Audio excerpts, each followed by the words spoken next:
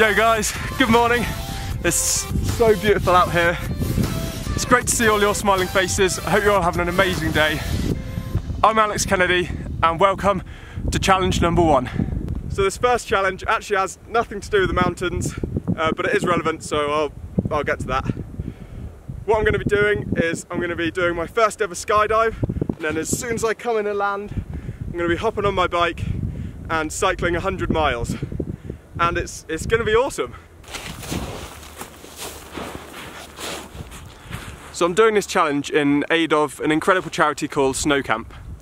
So Snow Camp work with inner city underprivileged young people and through snow sports, uh, life skills sessions, qualifications and vocational training they provide opportunities for these young people to really turn their lives around and just create a much better future for themselves. I really can't stress enough how amazing all the work that they do is. So I'll leave all their links in the description. Uh, go check them out to find out more. I will also have a link to my challenge page where you can go and donate if you wish. And yeah, have a great day and I hope you enjoy the challenge. It's the morning of the challenge, made it to the drop zone. Today is attempt number four to do the skydive. The weather looks incredible, definitely going down today. I'm so excited, it's gonna be insane. Oh, I'll see you in the sky.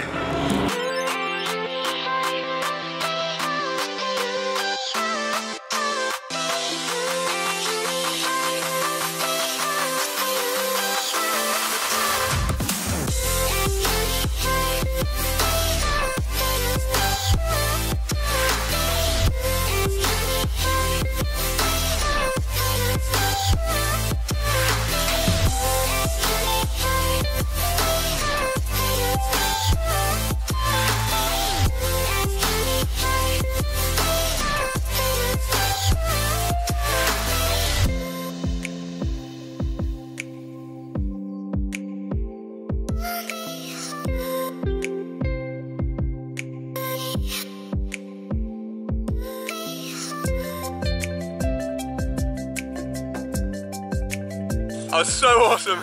so good. oh, What's your favourite bit? It's a free fall. It's a free fall. It's pretty good, isn't it? Yeah, it's awesome. Oh, skydive done. That was insanely good. Oh, the oh the adrenaline, so good. If you haven't done one, I mean, you need to. That was just oh, it's so good, so good. Oh, okay, now we've got 100 mile bike ride to go. It's uh, meant to reach 35 degrees today. It's gonna be hot, but should be good fun. Let's do it.